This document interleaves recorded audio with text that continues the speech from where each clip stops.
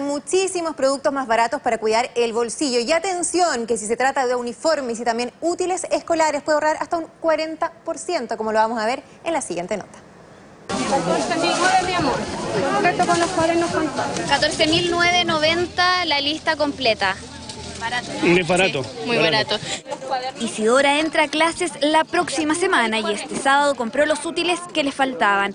Junto a su papá siempre van al puesto de Julia en la Feria Chacareros de Puente Alto.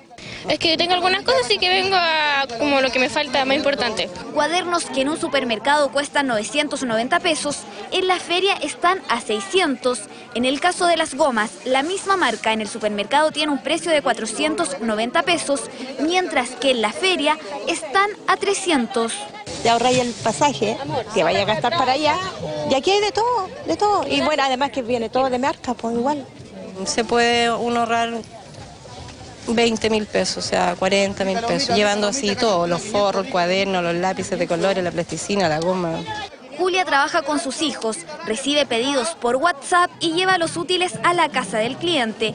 Otros prefieren dejar las listas y pasar a buscar los útiles más tarde. Tengo una carpeta con lista que tengo que entregar ahora. Entonces yo ya termino esta lista, la saco, la guardo, la meto en esta bolsa, le pongo el nombre y esta lista salió por 24 mil pesos. El CERNAC detectó diferencias de hasta 375% en el precio de las prendas escolares, pero no integró a las ferias libres.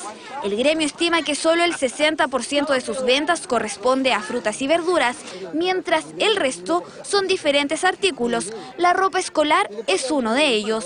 Aquí hay muchos feriantes que son microempresarios y que en la semana confeccionan y el fin de semana venden. Lorena y Eduardo ofrecen desde los calcetines hasta poleras de los colegios cercanos.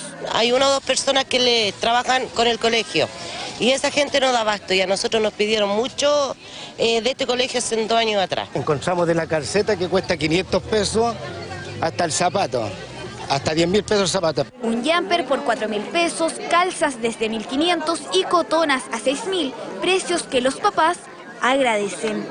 Yo creo que en la feria se ahorrará uno un 40%. Conviene, sí, siempre en la feria. Eh, Me queda más cerca de la casa, ando con la niña, entonces me los traje. No me pide tantas cosas en el mall. La feria se convierte en alternativa a días de que comience marzo, mes que se relaciona con distintos gastos y nunca está de más ahorrar unos pesos. Claro que sí. Durante la mañana de este sábado, delincuentes intentaron robar el dinero desde un camión de